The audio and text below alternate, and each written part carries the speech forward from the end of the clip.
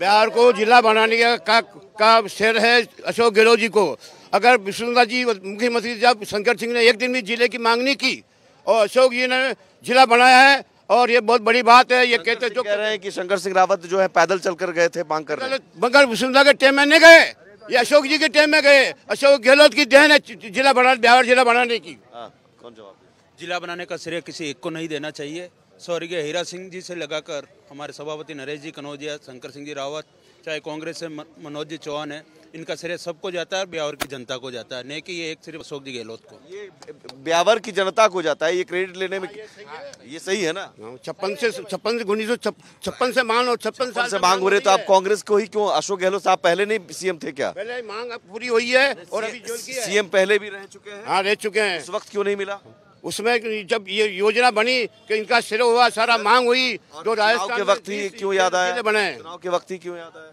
चुनाव के पहले हुआ बजट बजट में पास हुआ बजट में हुआ चुनाव के बाद में आम जनता को क्रेडिट जाता है आम जनता ने संघर्ष किया कांग्रेस बीजेपी ने सबने किया। कांग्रेस मगर शंकर सिंह जी ने वसुंधरा के टाइम में कोई ज़िले की मांग नहीं की। दो बार वसुंधरा जी बनी। ये सच है बिल्कुल बात। समझा? ज़िले की सच व्यक्ति विशेष को हम क्रेडिट नहीं दे सकते। इसमें कांग्रेस और भाजपा दोनों का था हाथ। और बात हुई ना ये ये मनोज चौहान ही पैरवी कर रहा था शुरू से है ना? उसके बाद में पारसी ने भी मेहनत करी थी। आपको पता नहीं पारसी ने कैसे सैक्रिफाइस करके आगे तक बात करी दिखावा नहीं किया।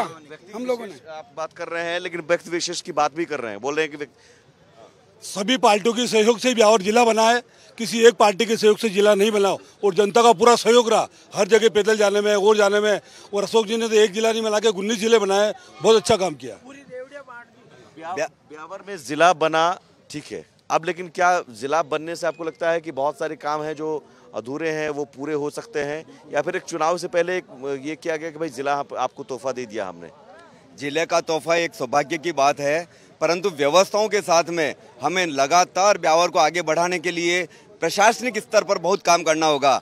हमारे एमएलए साहब जो भी एक्साइटिंग होते हैं, काम होता है, परंतु प्रशासन उस अमल को ढंग से नहीं कर पाते हैं। औद्योगिक क्षेत्र के अंदर ब्यावर बहुत पिछड़ा हुआ है। हमारे आसपास के किशनगढ़, भिलवाड़ा और जयपुर किस तरह से औद्योगिक क्षेत्र में आगे बढ़ गए हैं, हमें विगत सत्र में पाँच बार हड़ताल करनी पड़ी उद्योगों को बंद करना पड़ा फ्यूल सरचार्ज मुफ़्त की घोषणाओं से हमारे जो सरचार्ज बढ़े उससे बहुत बड़ा नुकसान हुआ है। फिर भी हम चाहते हैं कि स्वावलंबन बने मुफ़्त की योजनाओं क्षेत्र का विकास नहीं हुआ। औद्योगिक क्षेत्र का विकास हो सकता था यहाँ पर। स्कूल कॉलेज गाँव में नहीं है एक बात हमारी है और लेडीज़ का किराया पचास परसेंट होना चाहिए दो मांग हमारी।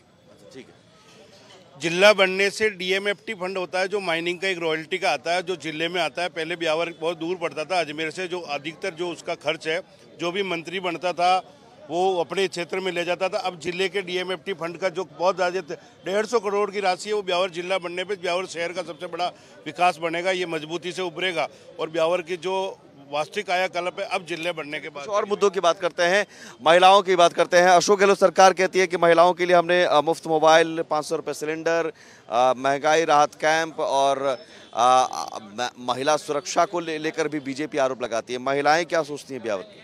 महिला यही सोचती है कि अभी तक तो कोई ऐसा कुछ हुआ नहीं पर जो आरोप लग रहे हैं बिल्कुल सही लग रहे हैं। महिलाएँ बिल्कुल सुरक्षित नहीं है। आए दिन कांड हो रहे हैं बलात्कार हो रहे हैं और इतने बेकार हो रहे हैं हर छोटी से छोटी बच्ची औरत कोई भी सुरक्षित नहीं है। और ये जो सिलेंडर हुए हैं जो सिलेंडर कौन सी बड़ी बात होगी मोदी जी ने क्या नहीं किया? बहुत कुछ किया है मोदी जी ने। और वसुंधरा के टाइम में भी बहुत कुछ हुआ है। ये गलत है। पंद्रह सौ रुपए में सिलेंडर जो ग्यारह सौ रुपए में नरेंद्र मोदी सरकार द्वारा दिया जा रहा था, उसको माननीय अशोक गहलोत जी की सरकार द्वारा पाँच सौ रुपये प्रति सिलेंडर प्रत्येक परिवारों को दिया जा रहा है और हज़ारों लोग उससे लाभान्वित हो रहे हैं। माने में आप महिला सुरक्षा की बात कर रहे हैं, आप वुमेन वेलफेयर की बात कर रहे हैं, गर्ल्स कॉलेज माननीय मुख्यमंत्री जी ने ब्यावर को दिया है। माननीय मुख्यमंत्री जी ने सुरक्षा के लिए महिला को सात गारंटी योजना दी है। पहले आप उसका आराम से अध्ययन कीजिए।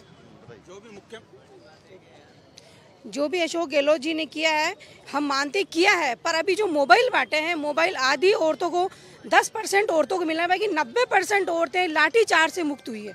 लाठियाँ खाई है औरतें और इतनी मार कूट हुई है जिसकी हद नहीं है चाहे कोई भी हो। लेकिन पाँच सौ रुपये सिलेंडर से राहत मिलती है। पाँच सौ रुपए के सिलेंडर से राहत मिलती होगी पर किया क्या है? बाकी और भी तो चीज़ें हो रही है। जैसे हमारे वसुंधरा जी पहले आए थे तो तीस परसेंट उन्होंने महिलाओं को लिए किराया मुक्त करवाया था। अभी ये बोलते पचास परसेंट। ये पचास परसेंट किस हो गया समझे हम? राजस्थान में गहलोत सरकार की जो योजनाएँ हैं उन योजनाओं का फ़ायदा आम जनता तक पहुँच रहा है क्या?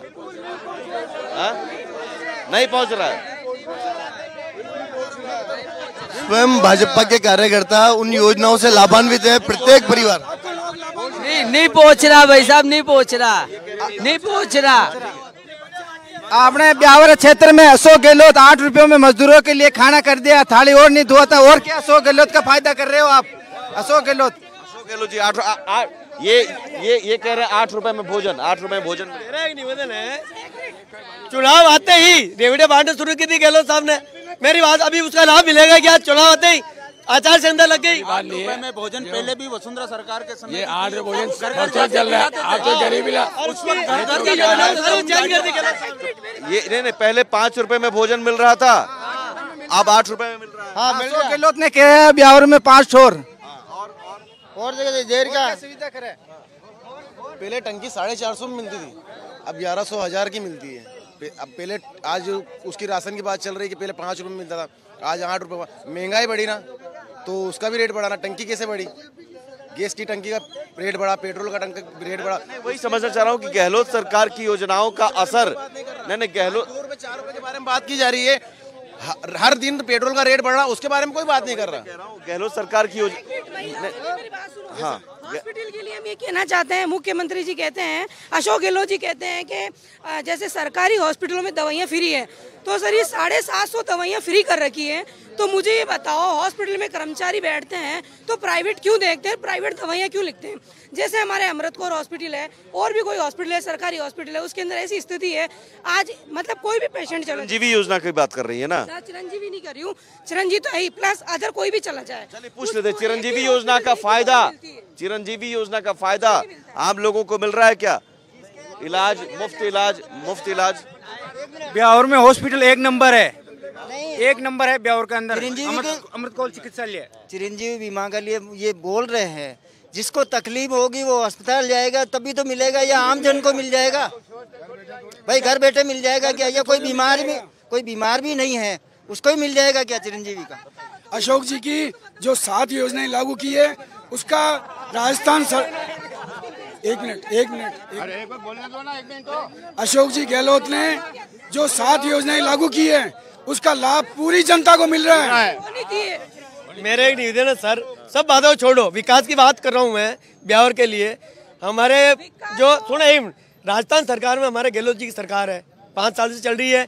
ब्यावर में हमारे पारस जी पंत जो प्रत्याशी थे वो भी आज की तारीख में जैसे मान लो विधायक समझ लो कांग्रेस के थे ना वो तो विकास के लिए पैसे ला सकते थे। हम उसका उनका स्वागत करते थे। लेकिन पारस जी जैन साहब ने एक्टिव हुए नहीं पाँच साल के अंदर वापस। चुनाव होने के बाद वापस एक्टिव नहीं हुए। पारस जी एक्टिव नहीं हो पा रहे हैं।